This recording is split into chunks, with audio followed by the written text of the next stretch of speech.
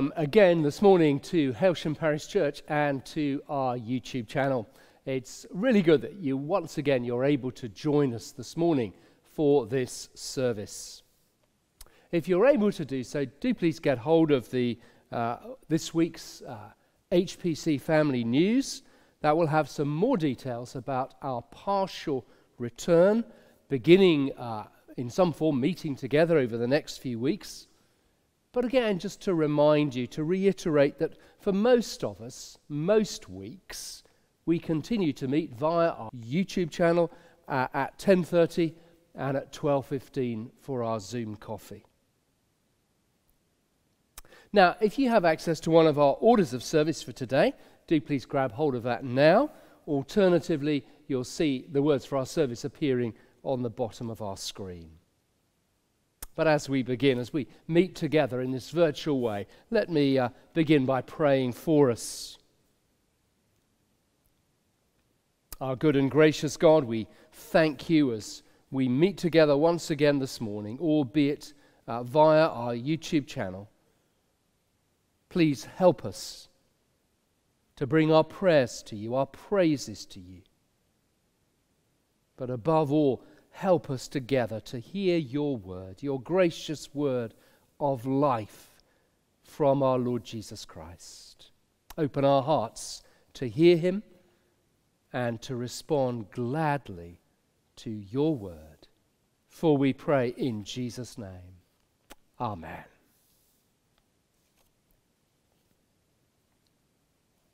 And so, as we begin our service this morning, these words of Psalm 103, reminding us of the character of our God, of his great and awesome mercy.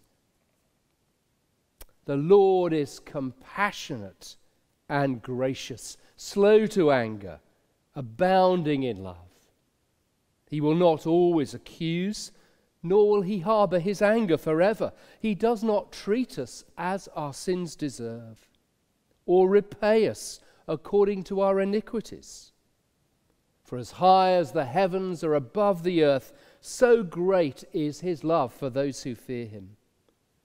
As far as the east is from the west, so far has he removed our transgressions from us. Open our lips, O Lord, and our mouth shall proclaim your praise. This is the day that the Lord has made. Let us rejoice and be glad in it. And we say together, We have come together in the name of Christ to offer our praise and thanksgiving, to hear and receive God's holy word, to pray for the needs of the world, and to seek the forgiveness of our sins, that by the power of the Holy Spirit we may give ourselves to the service of God. At this point, you may like to uh, pause and click on the link to the first hymn that we've suggested for this morning. All hail the power of Jesus' name, let angels prostrate fall.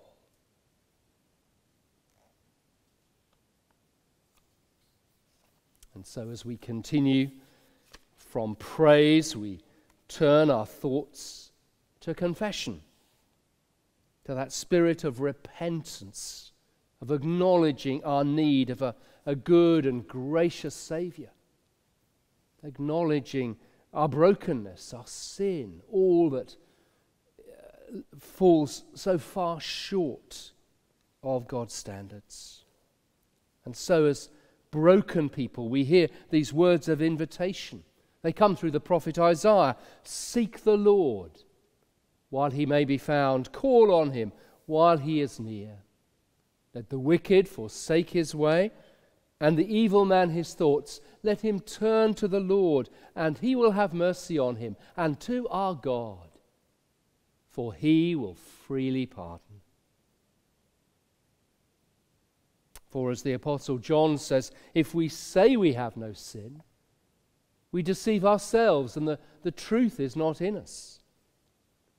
If we confess our sins, he is faithful and just and will forgive us our sins and purify us from all unrighteousness. So, hearing those astounding words of invitation, let us pray together as sinners, recognizing our need of a Saviour. Heavenly Father, you have loved us with an everlasting love. But we have broken your holy laws and left undone what we ought to have done. We are sorry for our sins and turn away from them. For the sake of your Son who died for us, forgive us, cleanse us, and change us. By your Holy Spirit, enable us to live for you through Jesus Christ our Lord. Amen.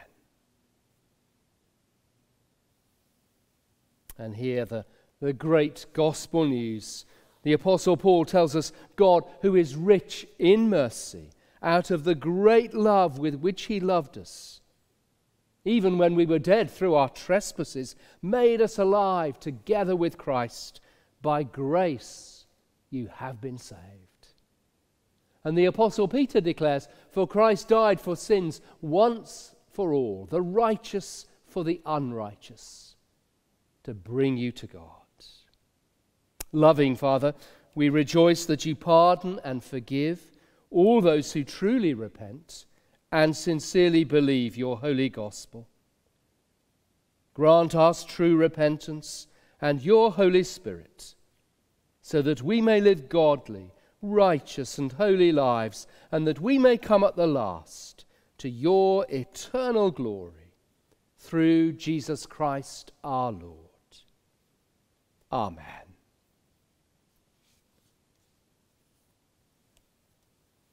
Once again, you may like to uh, pause our service and uh, click on some of the songs that we've uh, chosen for this morning.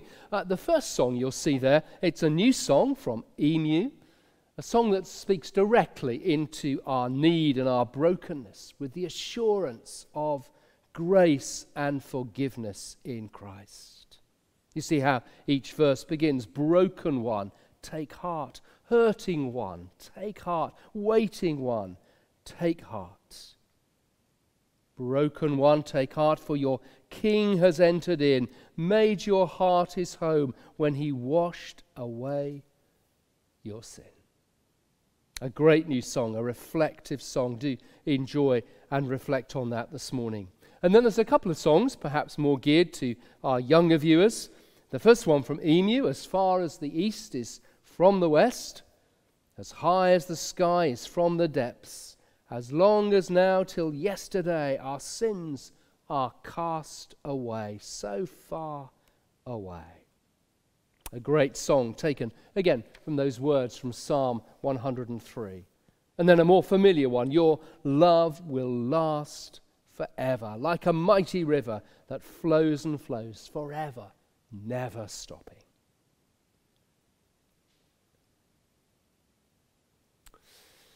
Now, as we come together again, uh, I hope you've enjoyed those songs. Uh, at this point, uh, you may like to continue with the service here, or you may like to turn to, uh, again to our YouTube channel, where you'll find our Sunday school material for this morning. And Corrie is leading us this morning, and she'll be talking about the King's priority, the priority of Jesus, of making his good news known.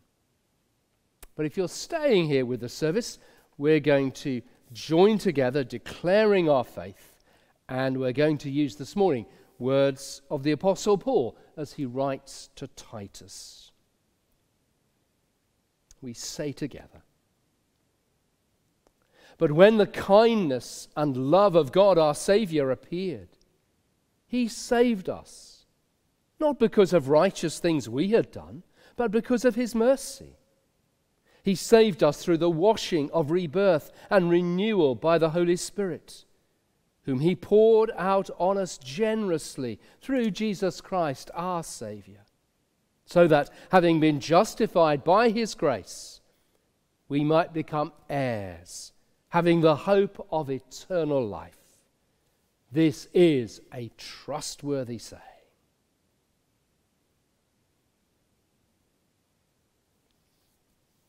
When the kindness and love of God our Saviour appeared, He saved us, not because of righteous things we had done, but because of His mercy.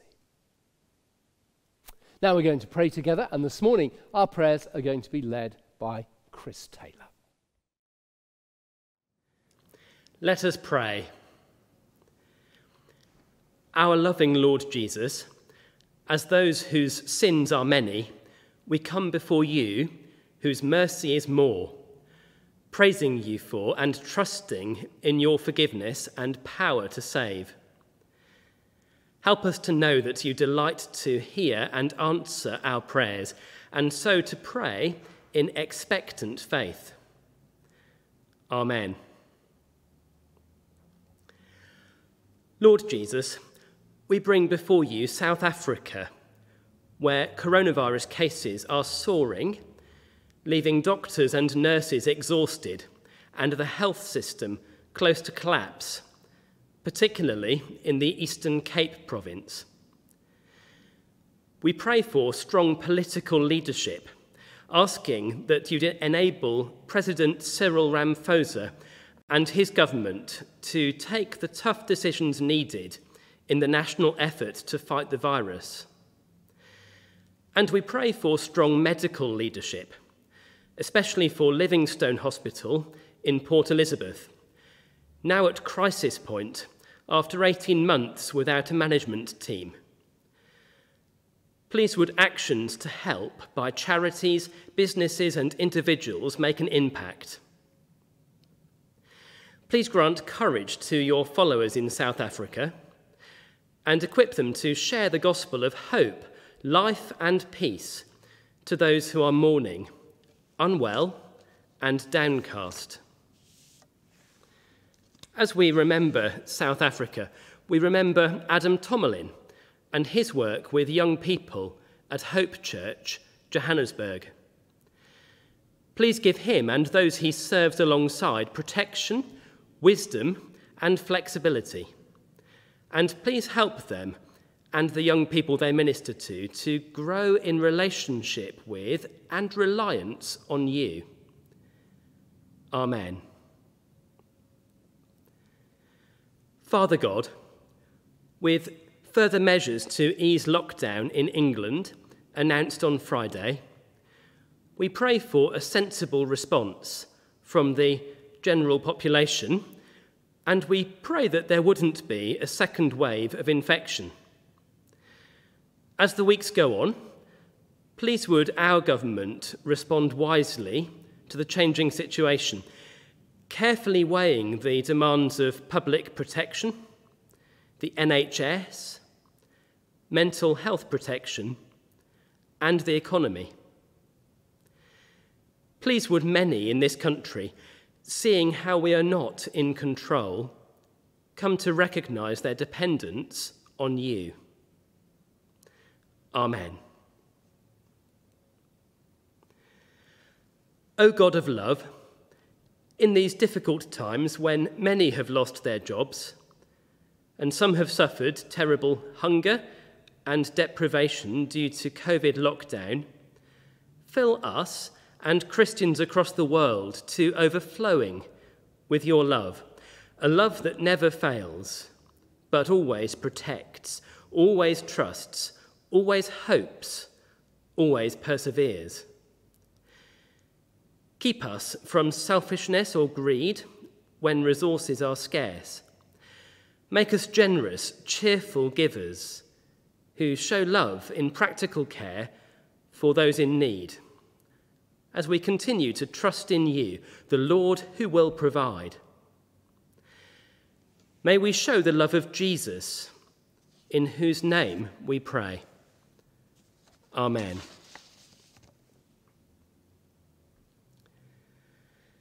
Dear Lord, we thank you for the opportunity to begin meeting in person for church services once again, and for the hard work that's taking place to enable this to happen from next Sunday here at Hailsham Parish Church.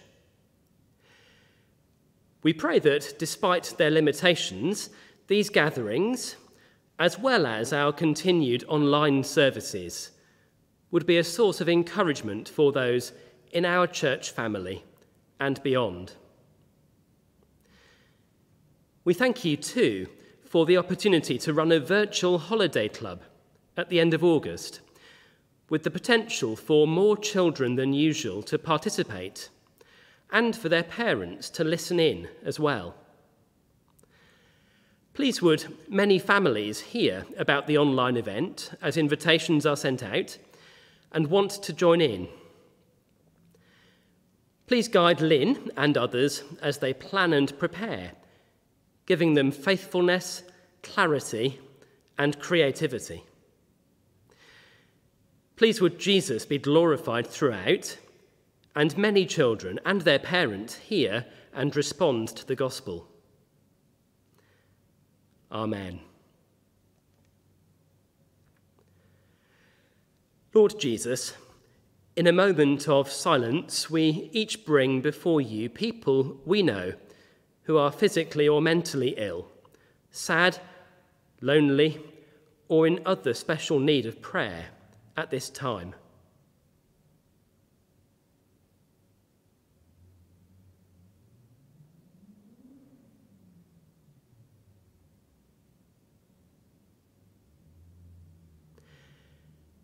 May all those we've named have power to grasp how broad and how long and how high and how deep is the love of Christ. May they know this love that surpasses all knowledge. Fill them to the measure with all your fullness. Amen. We ask all these prayers in the powerful name of Jesus. Amen. We continue to pray a special prayer for this Sunday. Merciful God, you have prepared for those who love you such good things as pass our understanding. Pour into our hearts such love toward you that we, loving you in all things and above all things, may obtain your promises which exceed all that we can desire. Through Jesus Christ, your Son, our Lord, who is alive and reigns with you in the unity of the Holy Spirit, one God, now and forever. Amen. And a special prayer for this time that we've used throughout this uh, COVID crisis Heavenly Father, our ever present help in trouble, our fortress and our God. Calm the anxious fears of all who turn to you. Give strength and healing to those who are sick, and courage and skill to those who care for them. Grant wisdom and clarity to those in authority, and humble us all to call upon you, that we may be saved not only in this life but also for that which is to come through Jesus Christ our Lord. Amen.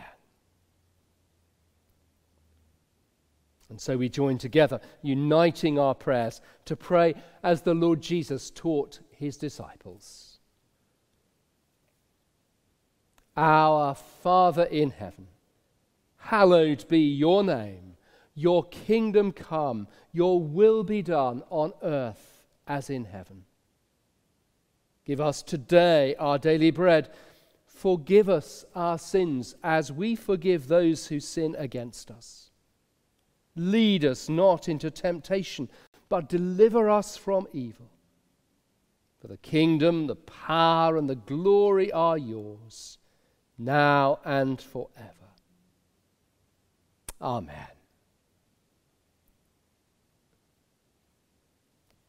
Well, Chris, thank you for leading our prayers this morning. Uh, an opportunity again now to pause and, if you'd like to do so, to click on uh, the next song. What love could remember, no wrongs we have done. Omniscient, all knowing, he counts not their son. Thrown into the sea without bottom or shore, our sins, they are many. His mercy is more. Do take that song to heart as it reminds us of the extraordinary grace and mercy of our God. Now, we're going to listen to the Bible read to us, and uh, this morning our Bible reader is Emily Taylor. Thank you, Emily. The reading is taken from Luke chapter 7, verses 36 to 50. Now, one of the Pharisees invited Jesus to have dinner with him. So he went to the Pharisee's house and reclined at the table. When a woman who had lived a sinful life in that town learned that Jesus was eating at the Pharisee's house, she brought an alabaster jar of perfume. And as she stood behind him at his feet, weeping, she began to wet his feet with her tears. Then she wiped them with her hair, kissed them, and poured perfume on them. When the Pharisee who had invited him saw this, he said to himself, If this man were a prophet, he would know who is touching him and what kind of woman she is that she is a sinner. Jesus answered him, Simon, I have something to tell you. Tell me, teacher, he said. Two men owed money to a certain moneylender. One owed him 500 denarii, and the other 50. Neither of them had the money to pay him back. So he cancelled the debts of both. Now, which of them will love him more? Simon replied, I suppose the one who had the bigger debt cancelled. You have judged correctly, Jesus said. Then he turned towards the woman and said to Simon, Do you see this woman? I came into your house. You did not give me any water for my feet, but she wet my feet with her tears and wiped them with her hair. You did not give me a kiss, but this woman, from the time I entered, has not stopped kissing my feet. You did not put oil on my head, but she has poured perfume on my feet. Therefore, I tell you, her many sins have been forgiven, for she loved much. But he who has been forgiven little loves little. Then Jesus said to her, Your sins are forgiven. The other guests began to say among themselves, Who is this who even forgives sins? Jesus said to the woman, your faith has saved you. Go in peace. This is the word of the Lord. Thank you. We're going to be uh, looking at that passage that Emily has just read for us. So, do have in front of you uh, Luke chapter 7, uh, starting at verse 36. And you can find that in our order of service on page 10. And opposite on page 11, you'll find our outline for this morning. So, Luke chapter 7 and verse 36. It's part of our, our little mini series, Meeting Jesus. And this morning, it's the uninvited guest. But let me pray as we begin. Heavenly Father, good and gracious God, thank you that your word is life and health for your people. And we pray that you'd give us ears to hear that word this morning, and that as we hear it, so our hearts would be warmed and excited by the good news of your grace, and so overflow with love and joy for you. For we pray in Jesus' name. Amen. Now, I wonder if uh, you've ever used the expression beyond the pale beyond the pale. Uh, the word pale comes from the Latin palus, it uh, means a stake or a, a, fence post. So, beyond the pale meant uh, beyond the fence, outside the limits, beyond the boundaries. So, a bit of uh, uh, history. When the Normans invaded Ireland in the 11th and 12th century, they created a so called safe uh, and secure area around the city of Dublin, and they called it the Pale, beyond which, from their perspective, were the wild and lawless Irish, the people you certainly didn't want dropping around unannounced, beyond the Pale. And so gradually that phrase beyond the pale came to mean uh, unacceptable, unsuitable, and most definitely unwelcome. Which brings us to Luke chapter 7 and a dinner party at the home of a well known and respected Pharisee whose name was Simon. Now, Simon was a man who ticked every single box when it came to being upright and respectable. And as you read what happened at the party, you'll discover that there were two particular guests. One had been invited, and the other hadn't. And yet, as we read, you discover that neither of them was really welcome. In fact, both guests, in different ways, were treated as if they were beyond the pale, at least as far as Simon was concerned. So here's the first guest, the one who was invited but wasn't welcome. Look at verse 36. Now, one of the Pharisees invited Jesus to have dinner with him.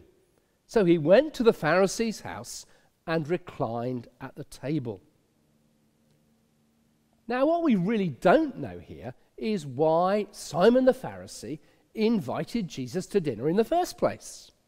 We just don't know. It, it, may be that Jesus, as a popular rabbi and teacher coming to town, that he'd been asked to preach at the synagogue, much as he'd done in Nazareth. You can read about that in Luke chapter 4. And maybe it was the custom required that uh, the preacher got a free lunch. Maybe that was it. Or maybe Simon was simply curious about Jesus and wanted to find out more. Or maybe he thought some of Jesus' popularity might rub, rub off on him. Or maybe even it was all about embarrassing Jesus, trying to make Jesus look foolish, to put this upstart rabbi who really didn't know much in his place. But whatever the reason for the invitation, it's clear that it didn't come with a welcome. Have a look at verse 44 and notice how Jesus describes the welcome that he didn't receive. He says to Simon, I, I came into your house, but you didn't give me any water for my feet. You didn't give me a kiss of welcome. You didn't put oil on my head. Now, those things were the customary signs of welcome and hospitality in the ancient world. That's what any good host would be expected to do for a welcome guest. But you notice that all these common courtesies were denied to Jesus. As one writer puts it, Simon treated Jesus with callous, calculated contempt. Callous, calculated contempt. If he'd wanted to humiliate Jesus, Simon couldn't have done a better job. You see, as far as Simon and the Pharisees were concerned, Jesus was beyond the pale. And it must have made for the most awkward and embarrassing of conversations as they sat down to eat. Now, it's perhaps worth remembering here that uh, in the first century, the homes of the, the rich were usually built around an open courtyard, a central courtyard which was used for entertaining.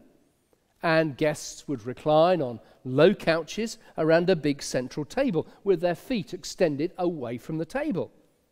Of course, in this case, the dirty, unwashed feet of Jesus. Again, uh, if you needed it, evidence of Simon's insult when Jesus had arrived. And of course, uh, often was the case, the doors of the house were kept open when there was a big feast taking place. They were kept open so the uninvited could look in and be suitably impressed. Now, only in this case, one of the neighbours decided to join the party.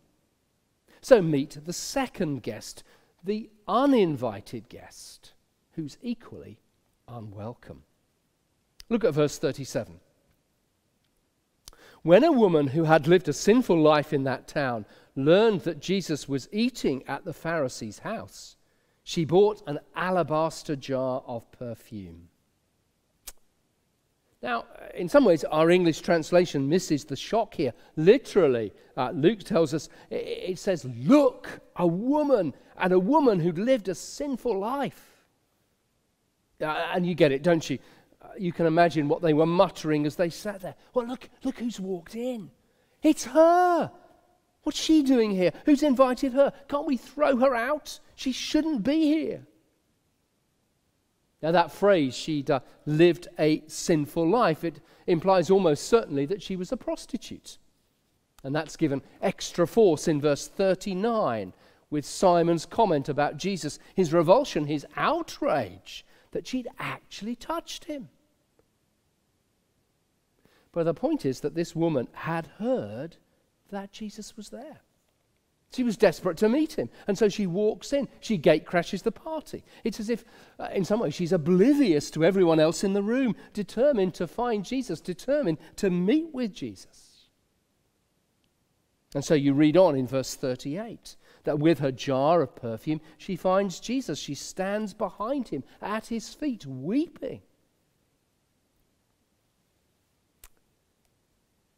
I wonder what you'd say if you were asked to name the one person you'd never, ever in a million years invite into your home. Never in a million years would you invite them round for tea, out for a meal, up for a coffee. I wonder who would be beyond your pale? Now, she was beyond the pale for Simon eh, and his friends, but who would be beyond your pale? Who would you never invite? Now, of course, our tastes change, don't they? And as we know, history gets written and rewritten. And so do those that we deem to be untouchable, those we deem to be beyond the pale. Someone whose behavior is so outrageous, so unacceptable, that they could never, ever be welcomed, never, ever forgiven. Of course, in our media, it's always changing, isn't it? Uh, one week it's bankers and hedge fund managers who are the great untouchables. The next week it's celebrities. Another week it's footballers. Another week it's our politicians. Well, they're almost every week, aren't they? Uh, uh, and of course, it is always the terrorist or someone who's been involved in the abuse of children. And now it is those from the past with links to slavery. But then again, it may be just someone who supports the wrong team, who lives in the wrong place, with the wrong colour skin, with the wrong sounding accent. Maybe it's just someone who isn't like me. And as far as I'm concerned, they're beyond the pale. Because of who they are and what they've done, they're no longer welcome. Not by us, not by Simon, and not, according to Simon, by God. And any self respecting person who speaks for God. But back to the dinner party. If this woman is already unwelcome, she's about to make things a whole lot worse. A- and embarrassing isn't the word for it. Look at verse 38 again. She comes, she stands behind Jesus, she's weeping, and her floods of tears fall on Jesus' feet. So his feet are getting wet with her tears. So what does she do? She loosens her hair. No, you can't do that, they say. Not unless he's your husband, and only then in private. This is outrageous. But she's broken the rules again. And now, of all things, she uses her hair to clean his feet, the very thing that Simon had failed to do to clean the feet of Jesus. And she kisses his feet and she breaks, breaks open this expensive jar of perfume that she's just brought and pours it over his feet. It couldn't get more embarrassing, could it? Make no mistake, This woman loved Jesus. Despite her, her sad and troubled past, this woman is brimming with spiritual life. Her tears of guilt and sorrow are becoming tears of repentance and of joy. Her hair loosened to wipe the feet of Jesus marks her as his servant. Simon won't serve Jesus, but she will. And his glory is her aim. Her kisses are, are, are, an act of pure adoration, adoration of a sinner for her Savior. And isn't that just how Mary sang? Mary, the mother of Jesus, when uh, the birth of Jesus, the coming of Jesus was announced, my, my soul magnifies the Lord, and my spirit rejoices in God my Savior. This woman loved Jesus. And what's equally clear is that Jesus accepts her and welcomes her. There was none of the, the self righteous finger pointing of the Pharisees, none of the customary moralism that condemns our outward sin but ignores the inward sin of our hearts. No, she, Jesus received her. He loved her. He forgave her. He forgave this repentant sinner as she looked to him to be her Savior. Wow, it's extraordinary. Now, up to this point, nobody else has spoken. Not a word. The, the whole room has simply watched in stunned silence. But I want you to notice that's all about to change. So, from the guests, let's look at the conversation. Look at verse 39. Simon, of course, is having none of it. He's furious. He's outraged. Such scandalous behavior from this woman and in his house. And the scandal rubs off on Jesus. Look what he's muttering to himself. If this man were a prophet, in other words, if Jesus really was a prophet from God, well, he'd know who's touching him. He'd know what kind of woman she is, that she's a sinner. And maybe you think, well, Simon's got a point, hasn't he? Surely it's inconceivable that God would welcome people like her. After all, God's holy, isn't He? And God's pure, isn't He? And so, so called moral, respectable Simon would turn her away. And as he turned her away, he'd think that's what God would be doing. Simon the moralist, with a heart that knows nothing of God's grace. Now, do notice here the difference between Simon and Jesus, because so often this is where people get confused. They confused Christianity, they confuse the gospel with Simon. They think Christianity is all about God's challenge to us to be good, to impress on the outside. And when we fail, to expect the finger to be pointed, the divine policeman to be knocking on our doorstep, the book to be thrown at us, the law to condemn us. Well, think again. That's the religion of Simon. That isn't the message of Jesus. That isn't the heart of God. You see, Simon's be good religion has no answer to the problem that lies at the heart of all this. That's the problem of our hearts. Because all Simon's religion can do is, is either condemn us or pity us in our failure. It, it can't face up to the problem and it can't offer a solution. And so Jesus tells a parable. Have a look at what he says. Verse 41. He says, There are two men who were in debt. One of them owed 500 denarii, the other owed 50.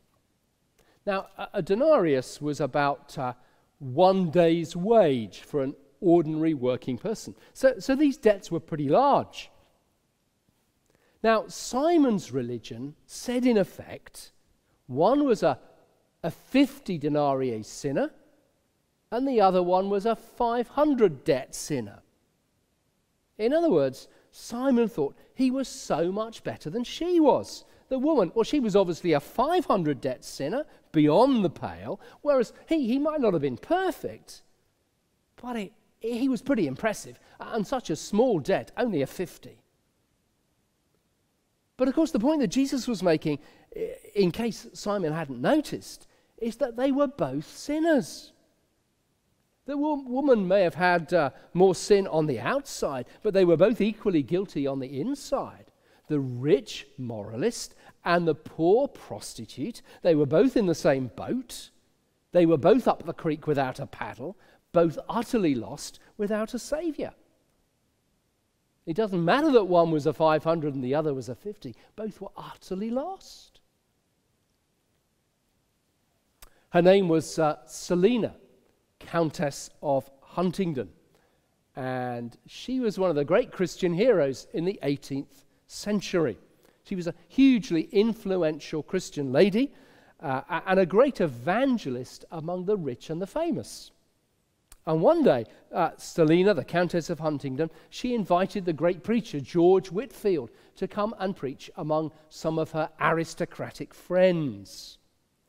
And after Whitefield had finished preaching on the grace of God, this is what one duchess said, and I quote It is monstrous to be told that you have a heart as sinful as the common wretches on earth.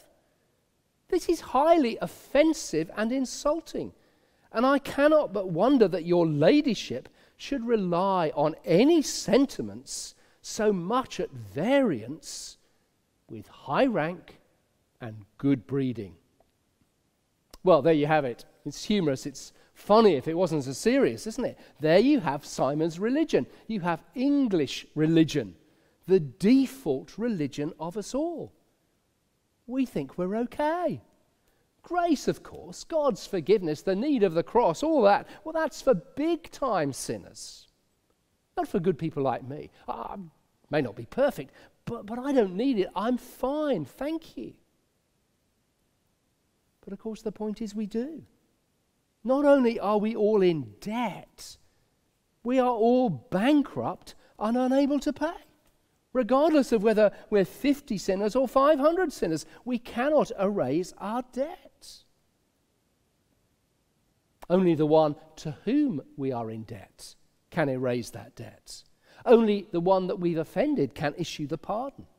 Only the one we've walked away from can, in fact, welcome us home. Only God can do that.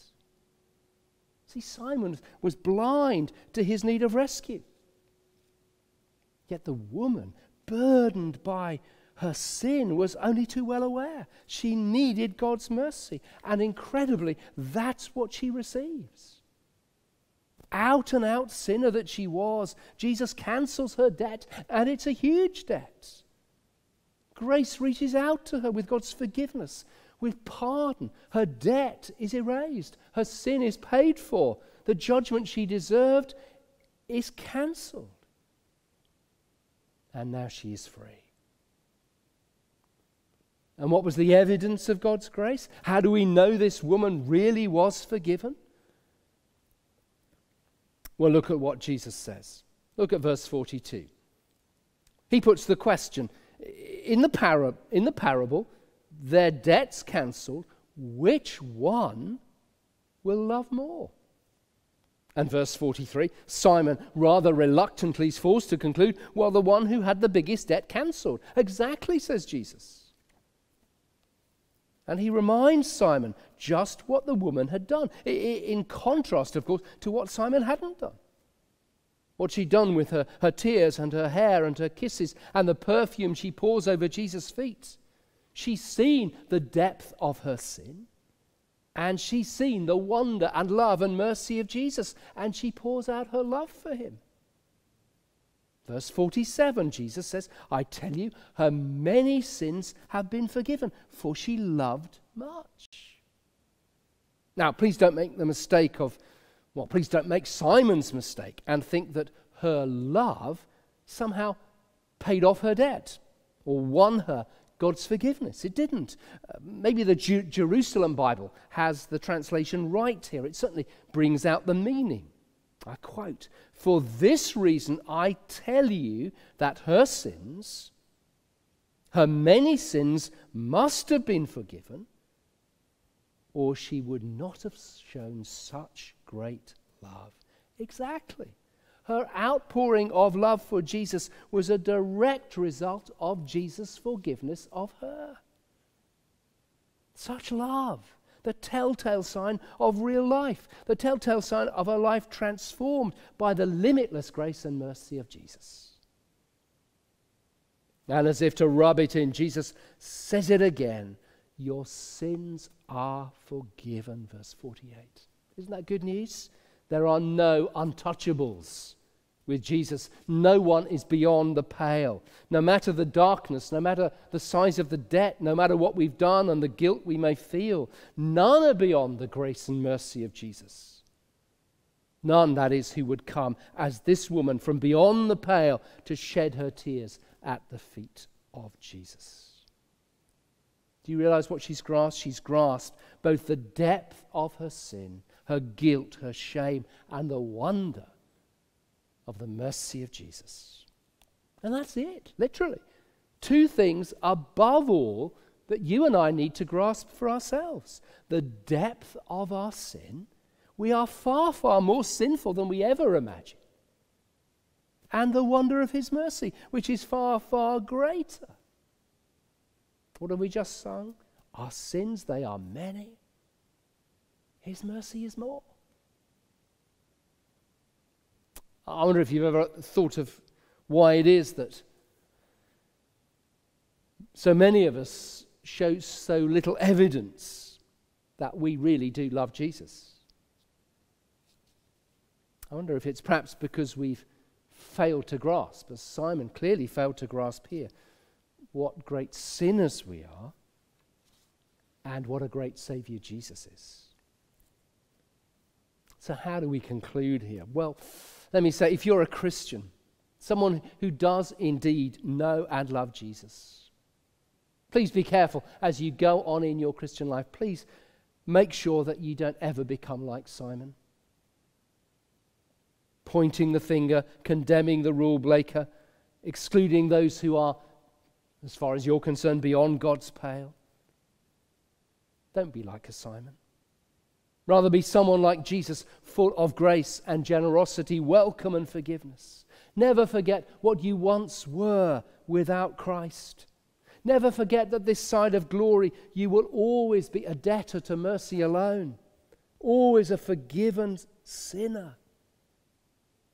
Don't forget those times, again, when it seems that you've taken three steps back in the Christian life and you're struggling with guilt and your conscience is raw and you know that you've failed. Don't forget, there's nowhere to go, no place to hide but Jesus. Jesus, who alone can say to you, forgiven. We never, ever in the Christian life go beyond needing the grace and mercy of our Lord Jesus. We will always need to taste that mercy until one day we see him face to face. But then perhaps you're not yet a Christian. And as you read this true story, uh, you know only too well your need, uh, your darkness, your guilt. Well, please, as you read it, forget Simon's religion, forget uh, resolutions to do this and that if you're thinking those might be the answer, and come as this untouchable woman does. Come with your tears and taste the mercy of Jesus. I think it's quite uh, uh, strange, isn't it, that some of the greatest Christians in the past, and you wonder, what was their, their secret to loving and serving Jesus, uh, the joy that they knew in Jesus? What was their secret? Can I suggest it was this? They knew they were great sinners, and they knew that Jesus Christ was a great Savior. Why do I say that? Well, he is the Apostle Paul. How did the Apostle Paul describe himself? What did he say? The worst of sinners. Really? Really, Paul? You're the worst of sin? That's what Paul says. The worst of sinners. Or, or John Bunyan. John Bunyan, who great, wrote uh, Pilgrim's Progress, but he called his autobiography Grace Abounding to the Chief of Sinners. Isn't that interesting? Great Christians in the past thought of themselves as the worst of sinners. Or John Newton, of course, the ex slave trader nearing the end of his life, the author of the, the song Amazing Grace.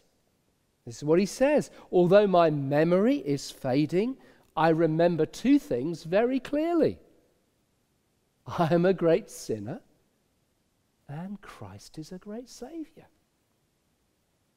Well, there you have it the secret to the Christian life, the foundation of knowing and loving Jesus more and more, living as people of grace, tasting the joy of the gospel. Two things we need to know and never ever forget that I am a great sinner and Jesus is my great and mighty Savior.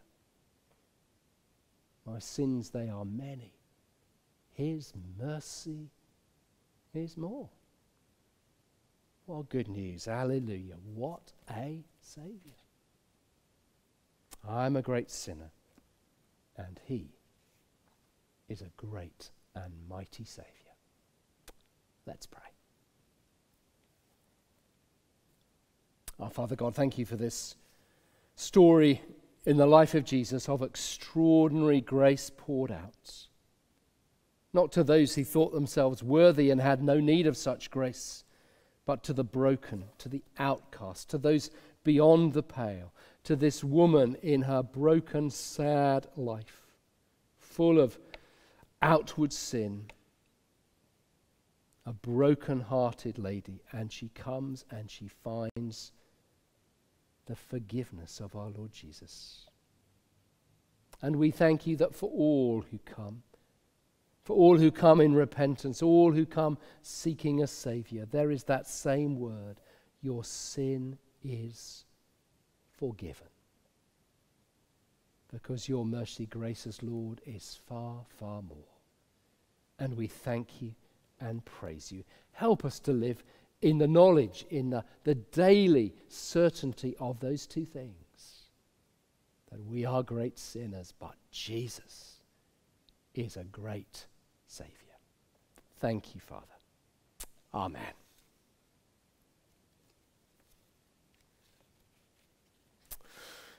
And so, uh, an opportunity to click again on a final song for this morning uh, the, the old hymn, Love Divine, or Love's Excelling Joy of Heaven to Earth Come Down.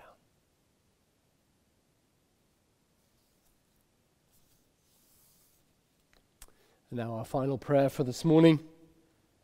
Uh, once again, uh, uh, thank you for joining us this morning.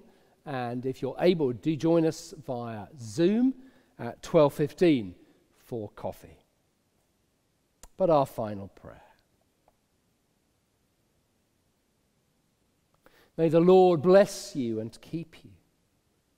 The Lord make his face to shine upon you and be gracious to you the Lord turn his face toward you and give you his peace. And the blessing of God Almighty, Father, Son, and Holy Spirit be among you and remain with you always. Amen.